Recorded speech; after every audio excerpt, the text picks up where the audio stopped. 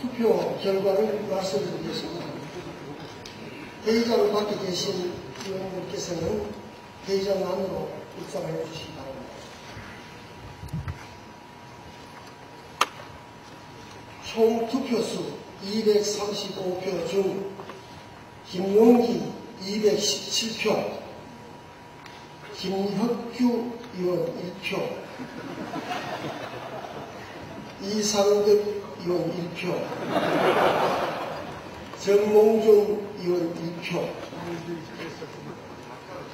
기권 12표, 무효 3표로서 국회법 제15조 제1항의 규정에 의하여 제적의원 과반수를 득표한 김원기 의원이 국회의장으로 당선되었음을 선포합니다.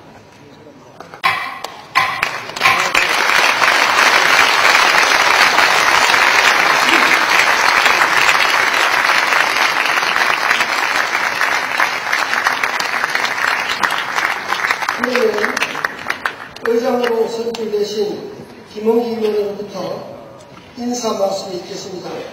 김원기 의원님, 이장님 나오셔서 인사해 주시기 바랍니다.